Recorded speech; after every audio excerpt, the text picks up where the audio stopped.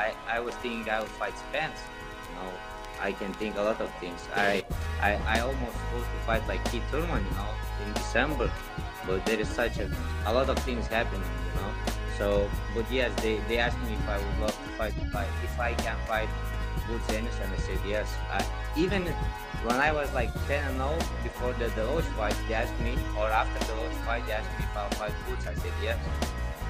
What's good, YouTube? It's your boy, Blue Blood Sports TV, back at y'all with another one. So, shouts out to Mill City Boxing and shouts out to Bushido Boxing TV on YouTube. Uh, they did this interview with WBA, World Boxing Association's welterweight regular champion, uh, Lithuanian superstar boxer Amanis Stanionis, who is undefeated with a record of 14 wins, no loss, no draw, nine wins by way of knockout, 28 years of age, five foot eight with a 68 inch arm reach, to which we know Emanis Stanionis, he suffered a, a setback. He was supposed to fight undefeated welterweight Mexican superstar title contender Vergil Ortiz Jr. on two separate occasions.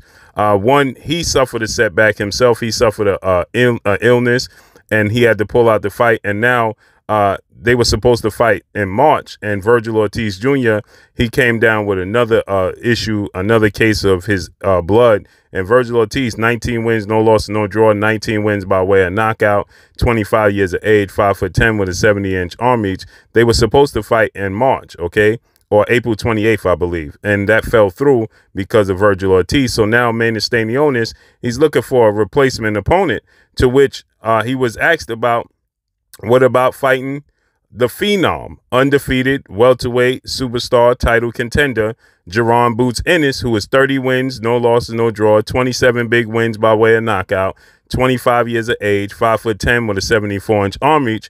Uh, the last time we saw Boots Ennis in the ring was January 7th when he took on Karen Chukhadzhian. He won a unanimous decision, and people started to question and say that Jaron Boots Ennis was, you know, exposed in the fight and things of that nature. But he was facing a guy who was unwilling to engage. He was facing a guy who uh, had his stamina was on a thousand and he just didn't want to, you know, uh, engage, and he wasn't looking to get knocked out, and it was a difficult fight uh, to look good against, right? So with that said, the last time we saw Emmanuel Stanionis in the ring was April of 2022 when he fought Butaev and he got a 12 round uh, uh, split decision victory in an action packed fight. Okay. So with that said, uh, Emmanuel Stanionis, he says that he was brought the idea of fighting Jaron Boots Ennis and he said absolutely. Right. And he says, I don't turn down nothing but my collar, essentially, I paraphrase. He said, I don't turn down no fights. I don't duck and dodge anyone, is what he actually said. And then he stated that I've been looking to fight Jaron Boots Ennis since I was 10 and 0. This is a fight that should have been happened. I'm I'm more than willing to take the fight with Jaron Boots Ennis. Now, obviously, this is him speaking out loud, but we got to actually see the fight. Jaron Boots Ennis and his father trainer manager, Bozy Ennis, they've been looking, you know, to to to have a big name fight on their on their resume. Okay, this would be the perfect opportunity and the perfect fight. So with that said, Okay, Amanda Stanionis, he's saying he's more than willing to make this fight happen. Now, um, what's interesting is that Stanionis is the WBA regular champion, and Jaron Boots Ennis is essentially the uh, International Boxing Federation regular champion, as they call it, the inter uh, uh, interim champion, right? Uh, and so he's the IBF uh, mandatory challenger, and they're both on on pace to fight uh, undefeated, unified three belt WBA, WBC, IBF welterweight world champion superstar boxer, who is widely considered by many to be top two, if not number one, definitely top five pound for pound best fighters in the world. And Errol the True Spence Jr. Errol Spence Jr. is 28 wins, no losses, no draw, 22 big wins by way of knockout. He is uh, 33 years of age, five foot nine and a half with a 72 inch army. So both Stanionis and uh, Jaron Boots Ennis are on a quest to face Errol Spence Jr. and get an opportunity to fight for them belts in a big fight. Uh, but the thing about it is, they may as well go ahead and fight each other because Errol Spence, he has no plans to fight either one of these guys anytime soon. Uh, and more than likely, if he do fight, if one of these guys is going to be at junior middleweight, 154. He's not going to fight either one of these guys at 147. He has one fight in his mind, in his sights, and that's a fight between himself and undefeated three division world champion, former junior welterweight undisputed world champion, currently the reigning WBO welterweight world champion, who is widely considered by many to be the number one best pound for pound fighter in the world, and Terrence Bud Crawford. Terrence Crawford has a record of 39 wins, no losses, no draw, 30 big wins by way of knockout. He is 35 years of age, 5 foot 8 with a 74 inch arm reach. So that's who Errol Spence has his sights set on. And the, his plan B is former unified welterweight world champion superstar boxer Keith one time Thurman, who has a record of 30 wins, one loss, no draws, 22 wins by way of knockout, 34 years of age, five foot eight with a 69 inch army. So uh, that's the plan B. And Errol Spence, he's already let it be known that he plans to move up to 154 as soon as he's accomplished this feat. So, uh, with that said, the IBF they they because Jaron Boots Ennis became the the International Boxing Federation in, interim champion, he was removed out of the other major sanction bodies top ten rankings. Same goes with uh, Vergil, uh, excuse me, Vergil Ortiz Jr. He was removed out the rankings, and so was um, uh, Stanionis. So they need to go ahead, put the politics aside, because neither one of them are going to fight Errol Spence uh, they're not going to get the opportunity. And so it doesn't matter who wins the fight. If uh, Jaron Ennis fights for Amanda Stanionis, then Amanda Stanionis, he'll be the WBA regular champion. He still get his opportunity to fight for that belt. And if he uh, stay with the IBF route, the winner of the fight is still going to be the IBF, uh, uh, you know, interim champion, right, and a mandatory challenger for that belt. So either which way, they're going to get an opportunity to fight for one of the belts moving forward in the future. So this is a fight that I think needs to happen next. It's a fight that, you know, uh, it's a statement fight. Okay. It solidifies the winner of this fight. Okay. It's going to solidify them as a major player in the sport of boxing. Right. Uh, and you know, both of them have high praise, and both have you know uh, the ceiling and the potential is extremely high for both of these guys. So we may as well go ahead and get a fight between the two of them, okay?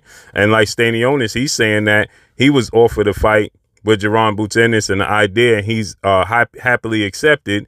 And he says that he's been wanting and expecting to fight Jaron Ennis since he was 10 and 0. He said that he was also expecting to fight uh, Keith Thurman in December. He was supposed to fight Keith Thurman. So, uh, and then he was supposed to fight Vergil Ortiz, but all of those fights, they now fell through. So he's saying, why not fight Jaron Boots Ennis, right?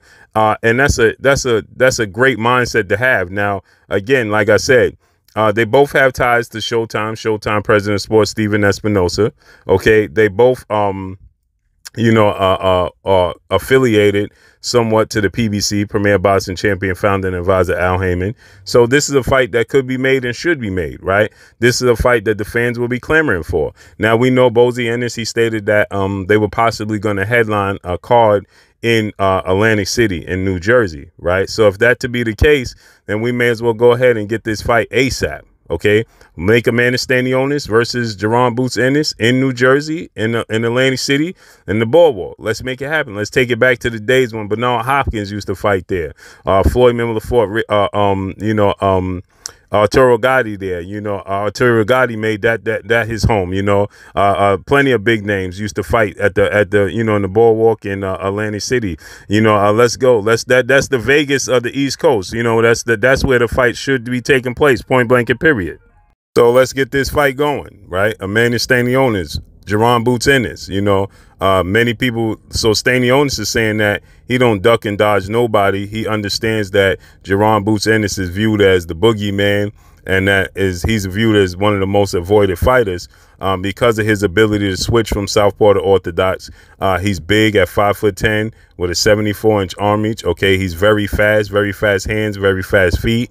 Okay, so uh, he has a high ring IQ. He could box, he could bang, he has power. So it makes him uh, for uh, he's a nightmare matchup. Okay, he's a matchup nightmare, and most people want to stay clear of Jaron Boots Ennis. Okay, and Stanionis is saying, well, guess what? I'm willing to take on that challenge. We know uh, the likes of Keith Thurman he wasn't willing to make that fight happen. Okay, Keith Thurman's not interested in fighting Jaron Ennis unless it involves uh, a life changing uh, money. So that's that's how you know Keith Thurman views uh, uh, Jaron Boots Ennis. So uh, uh, Stanionis, this would be a fight. This is shocking that he says that he accepted an opportunity to fight Jaron Boots Ennis twice. So let's finally get it going. It don't matter what ranking system you're in. It don't matter if you're in the uh, WBA or the IBF because either which way, the winner is going to get the opportunity to fight for the titles. Period.